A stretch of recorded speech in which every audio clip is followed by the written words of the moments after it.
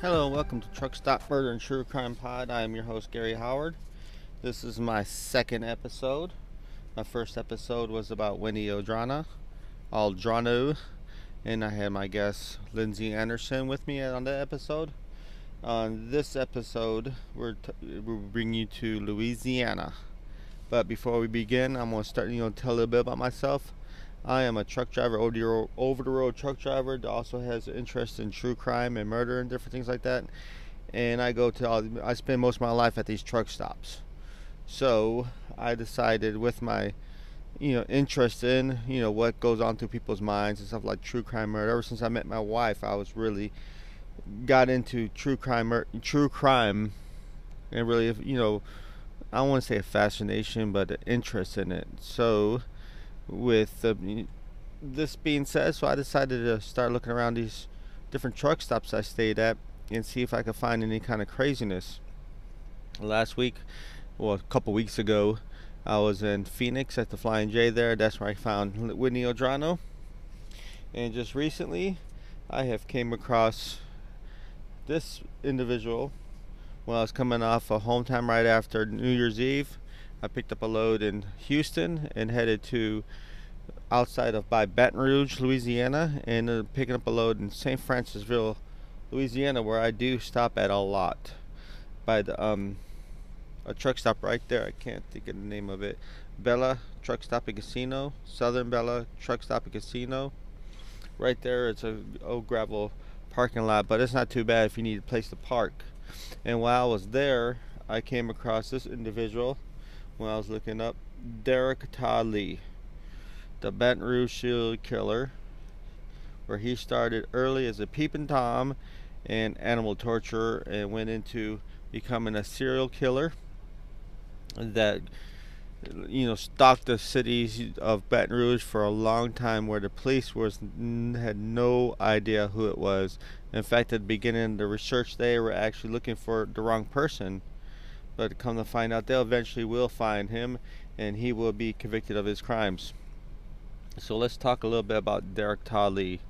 Derrick Lee, known as the Baton Rouge serial killer, proud communities of South Louisiana for years before his capture, eventual conviction of two of the seven cases of rape and murder of women to which he was linked to by DNA. He was suspected to be in a range of brutality from 1992 to 2003. So, a little bit about his childhood. Lee was born November 5th, 1968, in St. Francisville, Louisiana, to Samuel Ruth and Florence Lee. His father left Florence soon after Derrick was born. For her, the children having Ruth out of the picture was a good thing. He suffered from mental illness and ended up in a mental institution after being charged with the attempted murder of his ex wife after he left Derrick's mom. So not too long after that, Lee Florence later married Coleman Barrow, a responsible man who raised Derrick and his sister as they were his own children.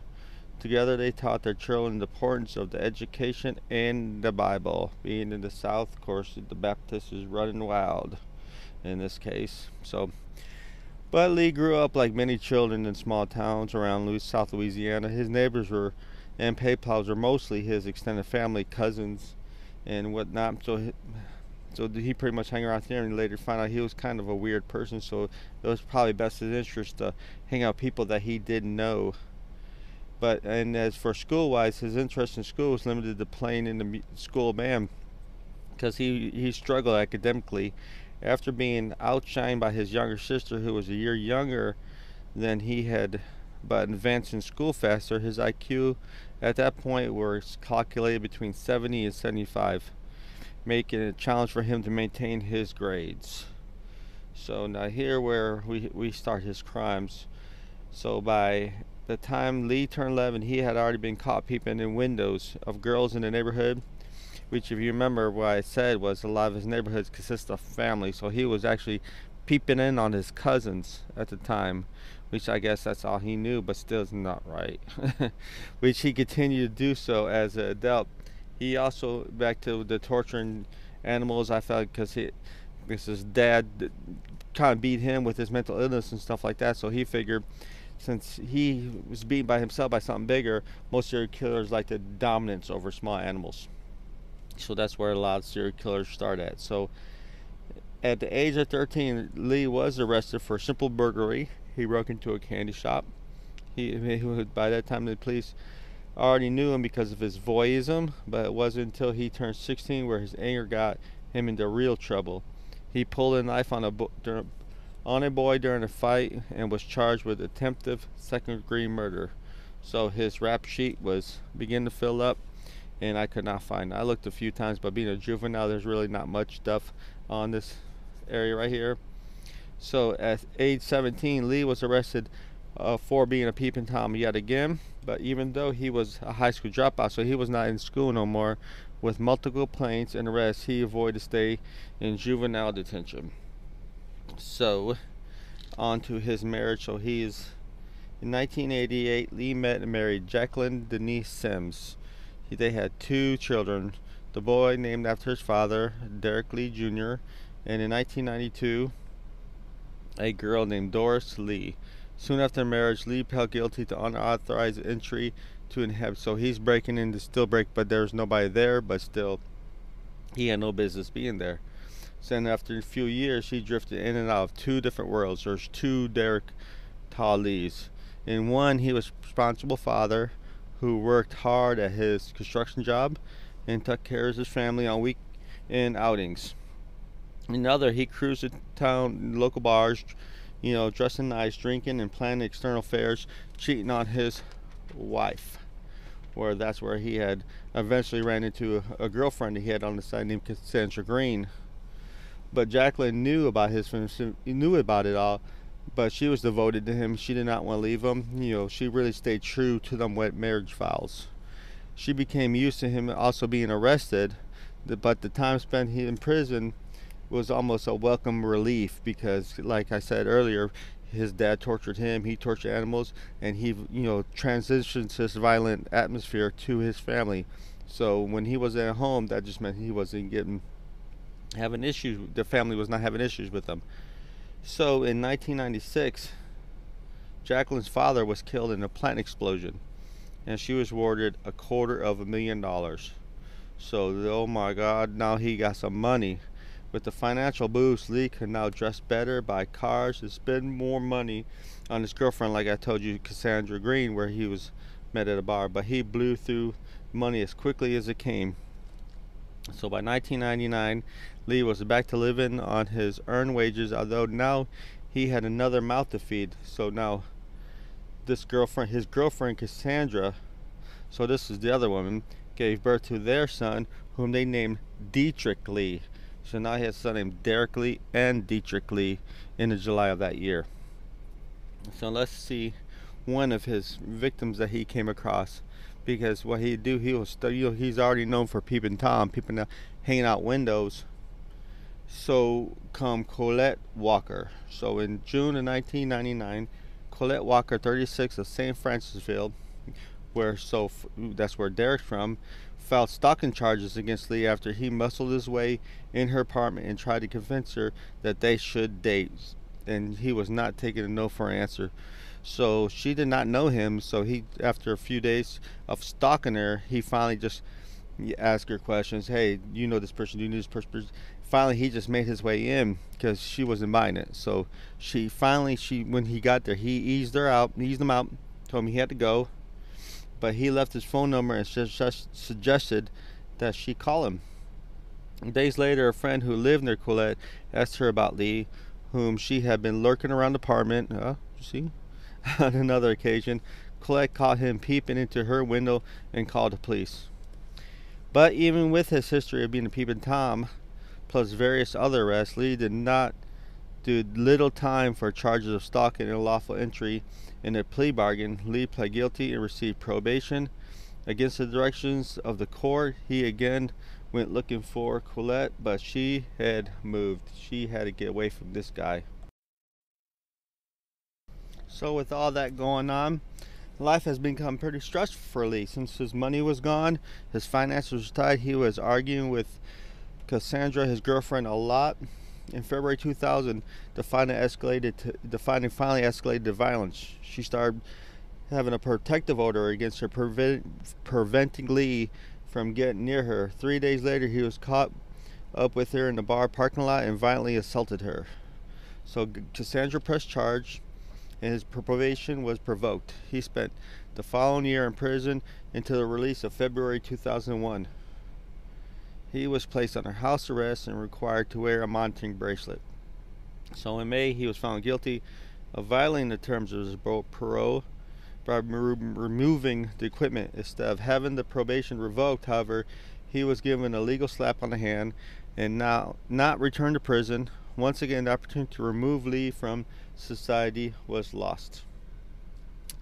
So, when Lee committed his first and last rape of murder, course, was un- to his unsuspecting women, is really unknown when he started or where he ended. What is known is on April 2nd, 1993, he allegedly attacked two teens who were necking in the parking car in a parked car, equipped with a six-foot harvesting tool. I don't know if you know what a harvesting tool is, but it's pretty much a weed sickle. So he came in here looking like the Grim Reaper, you know, swinging and swinging, trying to kill these people. And he was accused of hacking a couple, stopping and fleeing only when he only stopped when when another car was approaching. So he took off them. The couple survived, and six years six years later, the the girl Michelle Chapman, of course, picked him out a lineup as her attacker, but the statute of limitations had already ran out. So these brutals lasted 10 years after that attack with the DNA, of course, with like I said, DNA evidence eventually connecting to that. But if they would have got them then, we wouldn't be talking about these other things that I'm about to discuss with you. So, the first victim, well, not the first victim, but this is the one that eventually got him, you know, with the first degree murder. But we'll get into all to that. So let's talk about the victim. Charlotte Murray Pace. Charlotte Murray Pace. She was a, a pretty 22 year old who had just graduated from LC, LSU as one of the youngest recipients of the MBA uh, degree. Her family and friends called her Murdy. After graduating LSU, she continued her graduate work with the LSU Alumni Association till her job in Atlanta in the firm of I can't pronounce these words Deloitte and Touche would begin later that summer. But on Friday, May 31st, 2002, after leaving her graduate work, Pace washed her newly acquired BMW, approximately 11:52, and then went to her Baton Rouge townhouse that she shared with Rebecca Yeager, a close friend for six years, to wait Rebecca's scheduled arrival of about 1 p.m. Pace and them were planning on going to Alexandria, Louisiana, Alexandria, Louisiana, to attend a weekend wedding at Grace Church a, with of a former roommate. When, so when Rebecca arrived at 2 p.m., uh, the horror she found was unspeakable. She found Pace's almost completely new body lying on the floor between the bedroom door and the bed. She observed blood all over the room, on the furniture, and all over the, f- the floor. The bed was made but the bedspreads were soaked in blood. She later found blood in the kitchen and in the hallway in the bedroom.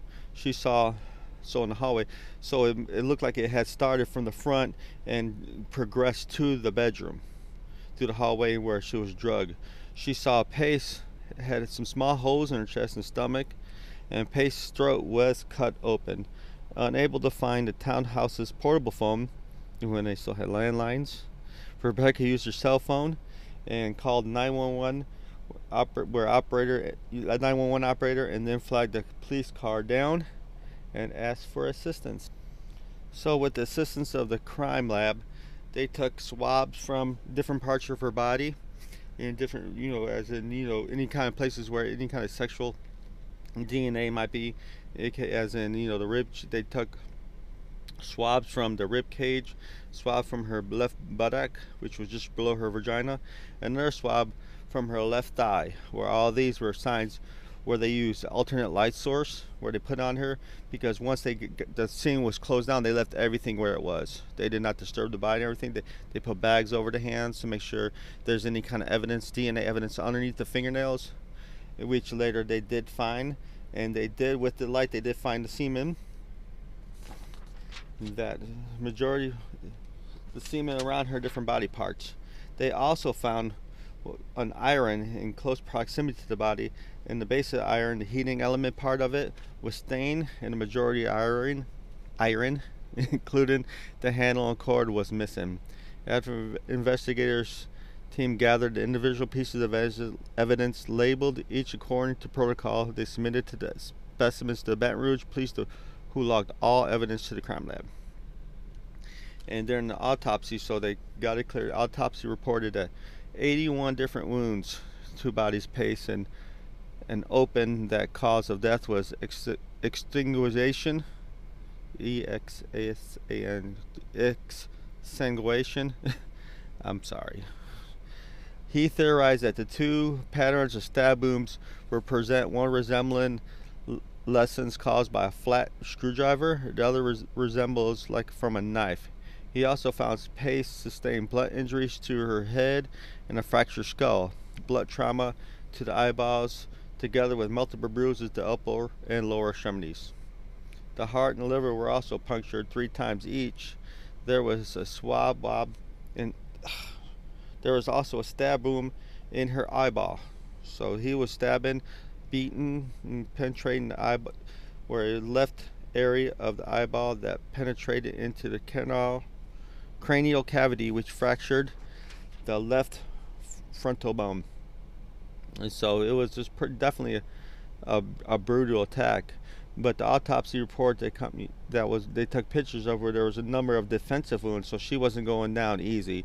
So there's a lot of defensive wounds, so it was a battle. Pace's arms, forearms, hands, and wrists inflicted that she attempted to ward off the assailtant, but was not able to. So finally, at June 13, 2002, her DNA evidence she obtained the crime scene from the fingernails obtained during the autopsy. autopsy.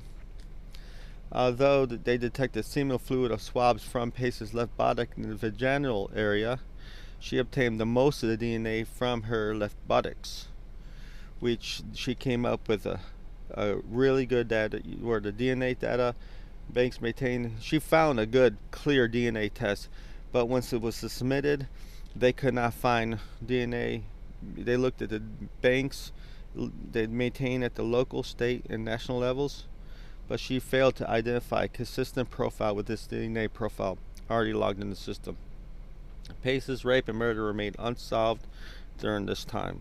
So, but at the time of Pace's rape and murder, there was other unsolved mysteries and rapes and murders from women of Baton Rouge and the Lafayette area which caused the police to further investigate the homicide.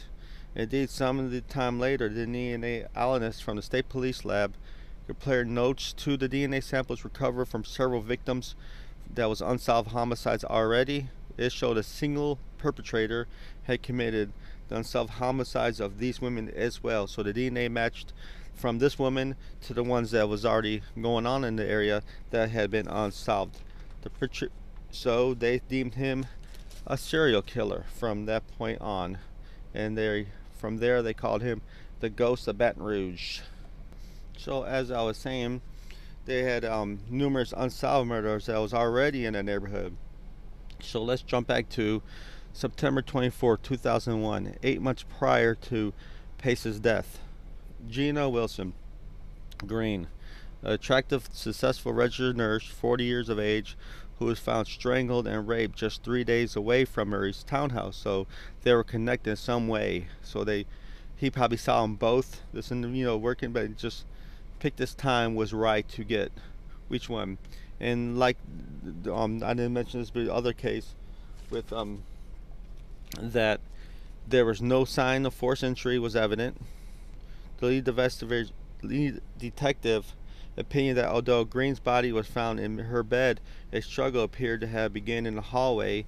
He said in the hallway there were large stains, later determined to be fecal matter. A clump of hair and Green's earrings were were separated a good distance from the floor. Her shoes were found in different rooms. Crime scenes personnel bagged the blouse Green was wearing, logged in evidence, and committed it to the crime line. Green's short as well as her purse and cell phones was missing. Though the assistance of the Cingular Wireless Green's cell phone provider, police officers recovered these items dumped behind a warehouse on in Baton Rouge. In addition to these items, the police also recovered a kitchen towel that appeared to be from Green's house. So, they did the test on all this stuff. The expert DNA analyzed the crime line, obtained a complete DNA profile from the spot of blood recovered from the back elbow of Green's blouse. Consistent DNA profile was found from this thing, but like before, they they didn't have nothing on the banks to see who this was and who this wasn't. So DNA profiles from Green and Pace murderer compared the DNA results these re respective cases. Immediately, it became apparent to them the the DNA samples they immediately examined in the respective cases indicated a single perpetrator committed these two homicides. So they're together. So here's and then on July he strikes again on July 9, 2002. Diane Alexander, an attractive nurse, was attacked by was attacked at her home in Breaux Bridge, about 45 minutes west of Baton Rouge in a rural St. Martin parish. On the morning of July 9th, Alexander was getting ready for work when a black man who identified him keep remember this person right here because she's going to come up in a big part later on in the story who identified him. So he knocked on he, Alexander was getting ready for work when a black man who identif identified himself as Anthony knocked on her door knocked on her front door asking for directions to Montgomery's when Alexandria says she did not know the Montgomerys the man asked to use the telephone he didn't ask her if her husband might know the Montgomerys. Then, when she eventually informed him that her husband was not at home, the stranger's demeanor quickly changed. He forced his way into the mobile home and overpowered her. The intruder caught her by the throat, told her not to try anything funny because he was armed with a knife and he would poke her in the eye. Poke her in the eye. This guy got some. And then when attempted to rape her but he could not maintain an erection so he was not ready to go. So he got pissed off. He started bludgeoning her and attempted to strangle her with the telephone cord that he cut from the home computer that was close to him. And look alexandra placed her placed her hand between the telephone cord when he tried to strangle her in the neck to effect to stop the strangulation she was passing out and out of consciousness when her son came home herman arrived at the residence when the intruder heard Herman's car pull up on the driveway, the attacker ran out the back door. Herman saw the familiar car at the patient's home. He described it as a gold Mitsubishi Eclipse with a Hampton Hazard plate on the front of it. Further noted it had a dent in the hood. He also observed a, the telephone line cord hanging from the car's window. So when he entered the room, Herman found his mother on the floor laying in a pool of blood. Alexander had a skull fracture and was rushed via helicopter to a Lafayette hospital where she remained for five days. Crime scene personnel at the parish secured evidence from the scene and attack. Two significant items were preserved and logged into evidence for future forensic analysts. This served the end of the telephone cord that was cut from the computer and Alexandria's dress, which DNA was evidence. But because this was a simple attack, and not a rape and murder, they really did not connect these to the other cases. And I didn't mention that the other cases, they were not looking for a black man. They were looking for a white man because to that point, black men were not known for serial killers. If it was just one murder, but since they were connected, they just assumed it was a white man right off the bat. And that's what they were looking for. And they did not even connect this person. So Alexandra did give this detailed description to her attacker to the detective at the parish. Though her description and composite, sketch of the attacker was made, the evidence from this crime scene, the sketch from both, which was a striking. I'm sorry. I'm sorry if y'all heard that. I have a ring. I forgot to put my phone on silent, and that's that's a. I listened to a podcast called Time Suck, and I got some of his ringtones. So I got. If you heard that, the big hip hip hip yeah yeah yeah gonna get. I got a message, but that will not happen again. I turned him down. So where was I? So Alexandria gave a detailed description of her attacker to the detective of the parish.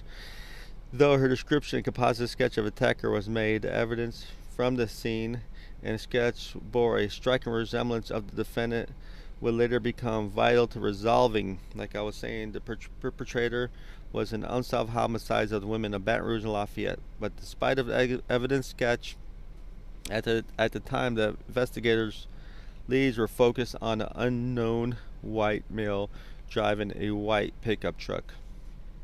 And so they were looking totally wrong, in the wrong person, wrong vehicle, and everything. So just three days after Alexandria's attack, Pamela Piglia Kinamore, a beautiful 44 year old antique shop owner, was reported missing from her Baton Rouge home.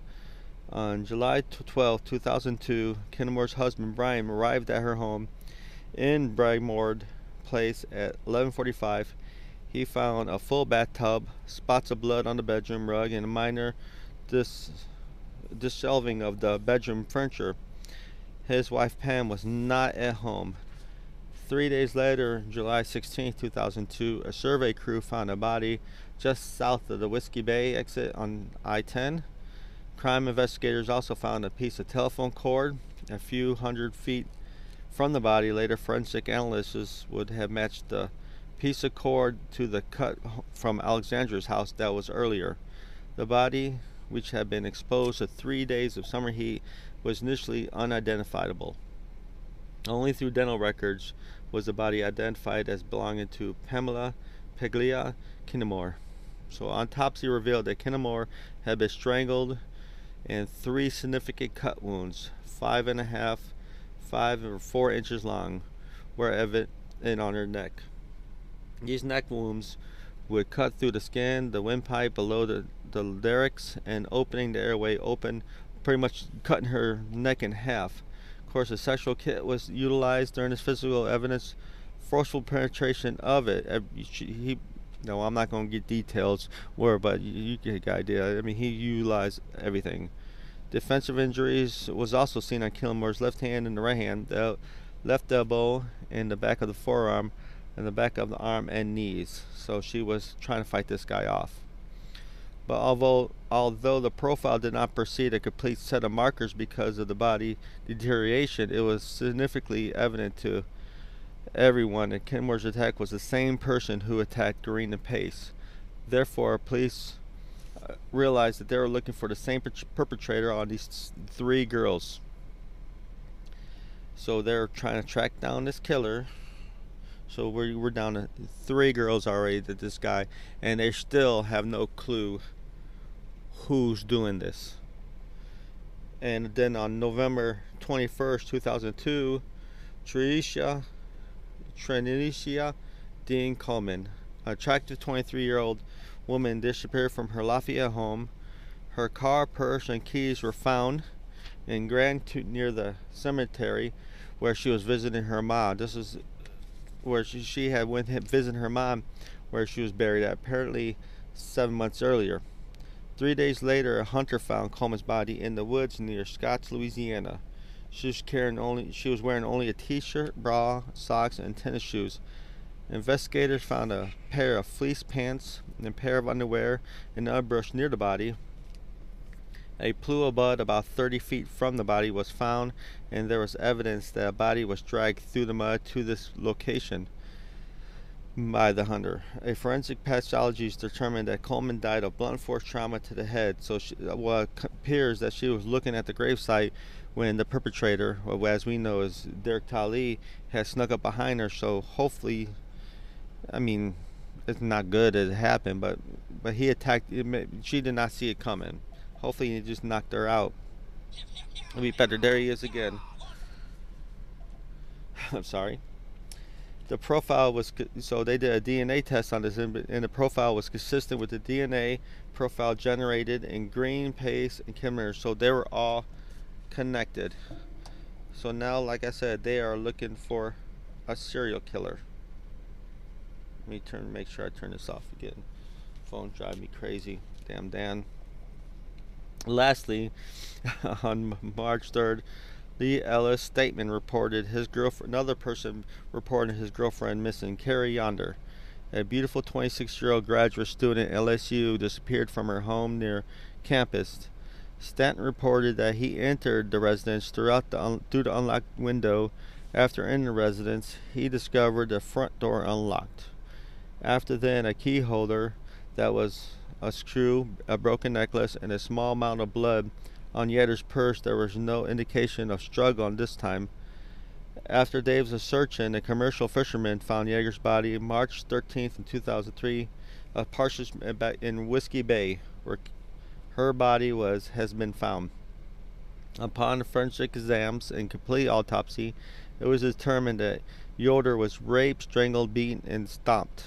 A sexual a kit was done on her as well. DNA profile obtained from the vaginal washing was the same as Natasha Poe, the, the DNA analyst who examined was the same. The DNA profile, the person in person of interest identified was consistent with the DNA profiles obtained in the Green, Pace, Kinamore, and so the DNA matched all four of these. But yet they were still nowhere no closer because there's no evidence of break-in. They have a DNA profile on this individual, but of course, like I said, they're looking for a white individual, not a black man. And the white car and a white truck, clearly he was not driving a, a truck. So, although the uh, forensic evidence pointed to a serial killer, police had no match on the DNA profile. So, there was nothing on the files on this person, you know, either local, state, or national levels.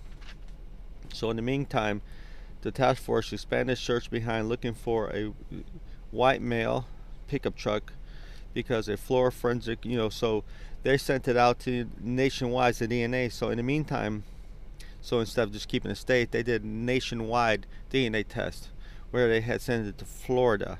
So, like I said, in the meantime, the task force expanded search beyond for looking for a white male in a white pickup truck because a Florida man described he, the the lab tech determined from several rare markings in the DNA that might suggest that this person is African American. There's the first sign that they were looking for the wrong person.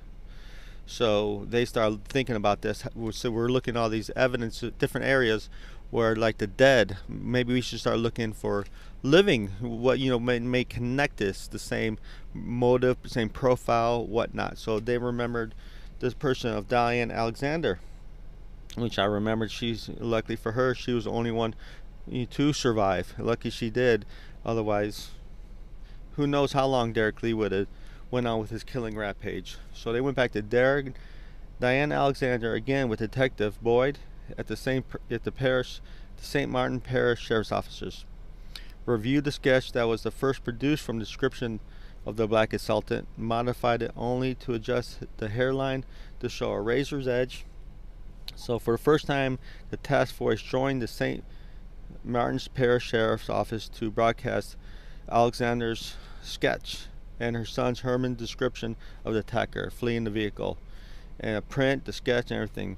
So, as details more fully became apparent, the task force began receiving calls almost immediately after publication of Alexander's composite drawing and the car description. All callers identified the defendant as the assailtant portrayed in Alexander composite drawing. So they all said, "We know this guy.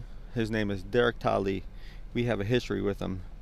And with the DNA profile out just afterwards on May 25th, 2003, they completed an analysis of the, all the swabs submitted by the Zachary Police Department. Polls and analysts identified the defendant as the individual, individual whose DNA profile was so they ran the DNA of the case Alexandria was Alexander was Diane was him and they found out the DNA was the same as Gina Wilson Green, Charlotte Murray Pace, Pamela Piglia Kinamore, Trinisha Dean Coleman, and Carrie Yoder. So now they got their man. they got. Even though they, they were unable to locate him at first, they know who he is. Even though the task force was initially unable to locate this individual in the St. Francisville home on May on May 26, 2003, his close relatives has released. Ugh, it was chose to release defendant's identification to, as a serial killer. On May 27, 2003, Chris J. Johnson of the East Baton Rouge Parish Homicide Detective, assisted by the FBI and U.S. Marshals and Atlanta Police Department, arrested the defendant in Atlanta, Georgia. So he had left soon. Not too long after, to find out, not too long after, he was questioned about that. You know, they had the DNA. Well, we'll get in that later. Defendant did not consent his extradition. He did not consent his extradition to Louisiana. So after defendant's arrest and pursuit to a court-ordered blood was drawn from defendant with further DNA testing. The Louisiana State Police Lab analyzed the blood drawn from the defendant, determined that the likelihood of randomly finding another individual with this defendant having the same genetic profile was 1 in 3.6 trillion. So they got their man. So they, they brought him back. He was extradited back to Louisiana. And his case, there's a bunch of things about his case. First, this thing was about his case was he decided that he wanted motions to suppress the DNA because he said it was not taken with it was, was the basis of the state's argument was 66 subpoenas with such warrants are equivalent because both requires review by national mitigations however well let me start this all over again because that didn't make no sense he argued that because his he did not have no warrant that should be probable cause to get but it was subpoenaed. But i'm not going to get too much in that. But they said no no no. We, i mean we don't need a warrant. It was a subpoenaed your dna was requested through subpoena which the only thing they need for the subpoena is probably is uh, okay assuming the here we go So, assuming the correctness of the state's argument on this point, we nevertheless find it not present the trial court sufficient fact to support a finding of probable cause for the lawful insurance of a warrant. In present case, the state based its request for a subpoena on five factors. So this is where I, where he they were able to get to his DNA or sample.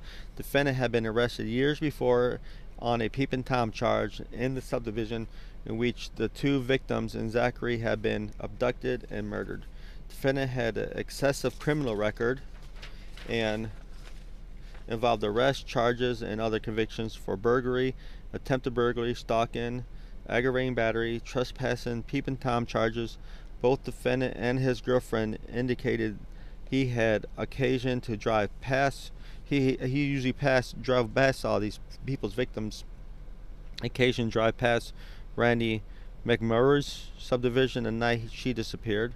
Defendant was not incarcerated at the time of the abduction and murder of the two Zachary victims or any other serial killer victim.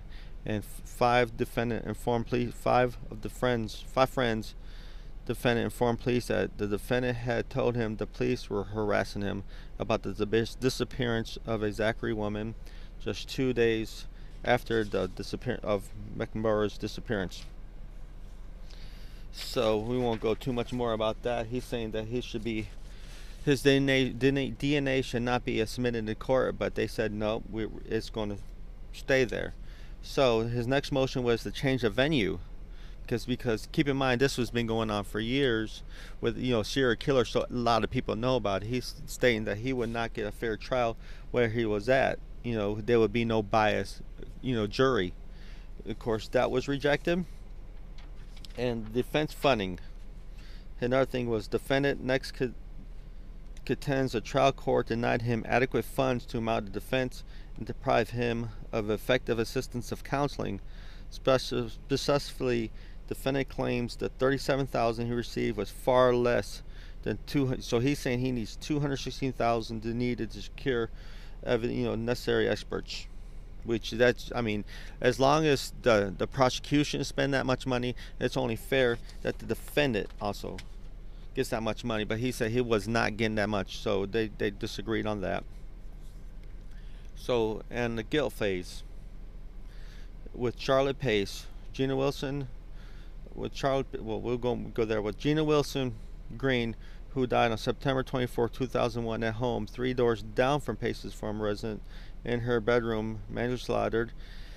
Pamela Kinamore, who had been kidnapped from Baton Rouge home at night of July 12, 2002, whose body the police found four days later dumped in Whiskey Bay and with her throat cut. Carrie Yoder, kidnapped from her Baton Rouge home March 3, 2003, when whom the police found 10 days later also dumped in Whiskey Bay, apparently one mile from where Kinamore's body was recovered.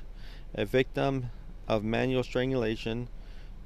I'm no, I'm sorry. I apologize about some of these names. I'm not the best speaker. I hate um, messing up these you know victims' names like I am. But Trinchinchia Dean Coleman abducted from her car on November 2nd, 2002 in Scott, Louisiana, whose body the police found on November 24th, 2002, bludgeoned to death in the wooded area some distance away from her abandoned vehicle. And of course, Diane, Diane Alexander, who survived the attack in Baton Rouge home on July 9th by the Sultan who tried to rape and strangle her and fled the trailer when her only when her son arrived. So, with all the testimony from the investigating detectives, forensic DNA experts, and various other witnesses, the crime evidence of the present case is spread over 600 pages of testimony. Slightly over half the testimony presented during this guilt phase, as in the Pace homicide, the state principally utilized DNA evidence to conduct defendant all other of conduct defendant to all the other homicides. With that being said, on June 25, 2003, an East Baton Rouge Parish jury, grand jury indicted defendant Derrick Todd Lee with the May 31, 2002 first degree murder of Charlotte Murray Pace. The defendant's jury trial commenced on September 13, 2004. and pres- presentation of evidence ended on October 12, 2004. After hearing close closing arguments at the conclusion of the guilt phase, receiving the tri- trial court's instructions and deliberated defendant's guilt. The jury returned a unanimous verdict of guilty of the first degree murder. At the conclusion of the penalty phase, the jury unanimously returned a verdict of death, finding the defendant committed the aggravated rape eh, of the victim. The trial court sentenced defendant to death according to the jury verdict and denied defendant's motion for a new trial on December 10, 2004. So a decree for the reason assigned hereon the defendant's conviction of death sentence was affirmed. The judgment became final as a direct review when either the defendant fails to petition timely of United States Supreme Court for certain criteria or the court denies his petition for criteria well CER criteria. Either our defendants having filed been denied, fails to pension United States courts timely, preventing rules, rehearsing, blah blah blah. So he just failed at everything that he needed to do. So there you go, Derrick Lively sitting there on death row in Baton Rouge. But on J- January 16th, 2016, Lee was 47, was transferred to Lane Memorial Hospital in Zachary, Louisiana for emergency treatment and died of heart disease on January 21st. So the state was not able to execute him. I mean, I guess the verdict is still the same. Derrick Todd Lee is no longer on this planet. Thank God to harass and uh, bother any women. But remember his son, Derrick Todd Lee?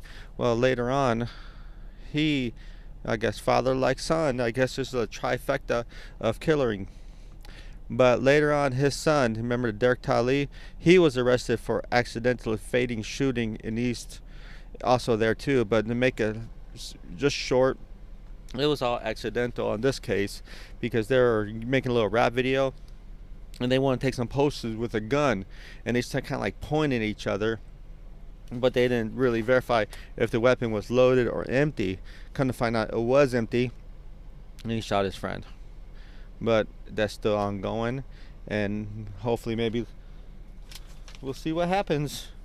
But if you like that story, hopefully you did. It's kind of choppy right now. I'm just getting started, trying to get. I had planned on a, a co-host with me, but you know, different things, and everything. You know, people have their own life, and sometimes they just can't do thing. You know, they just can't do it. So I had to re, you know, fix me, you know, readjust, as I say in the army. But if you do listen to this and you do find it entertaining, please follow my close group Facebook page at Truck Stop Murder on Facebook. I'm always happy. We ain't got few people there. I'll happy to have you join me. Or you can just follow me on Facebook or on Instagram and Twitter. It's Gary Howard Five or anything. I'll put try to put links on here if I can figure this out. Also, if you want, if you like what you hear, or just want to get me started, or just give me a big fuck you, you'll find me on iTunes and Castbox right now. I believe Podbean right now. Like I said, this is a work in progress. I'm trying to figure this thing out. Hopefully, you bear with me on this. It's just going to get better from now. I'm going to try to come out with every week a new crazy person and what I'm going to do is I'm going to try to start in place and therefore if you do follow me on this you can follow me where I, everywhere I stop. So next week it'd be here then if next week could be where I stop the next day from 11th 12th 13th so on so on so on. Anyhow thank you for listening. Sergeant Awesome out